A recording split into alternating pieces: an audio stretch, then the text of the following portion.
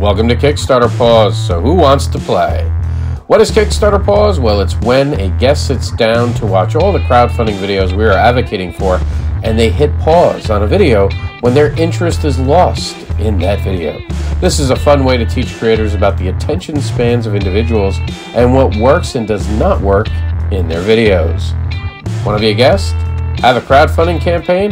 Reach out to us, but for now, let's start this program and introduce our guest judge.